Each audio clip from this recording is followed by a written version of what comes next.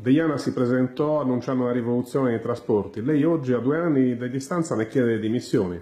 Sì, chiediamo le dimissioni perché abbiamo capito che è completamente inadeguato, abbiamo fatto una mozione di sfiducia anche perché il suo atteggiamento è stato veramente contraddittorio. Nel 2011 sosteneva la tesi della perfetta legittimità rispetto al quadro normativo europeo della legge 10 del 2010, oggi invece ne sostiene l'incompatibilità. Non è possibile che un assessore tenga atteggiamenti così contraddittori. La Sardegna non può aspettare né l'assessore né Pigliaru. È bene che smettano di parlare e inizino a mettere in campo azioni politiche per sostenere il low cost, per sostenere Ryanair, per sostenere la continuità territoriale verso le rotte minori. Veramente la Sardegna e i sardi non hanno più tempo e non possono più aspettare.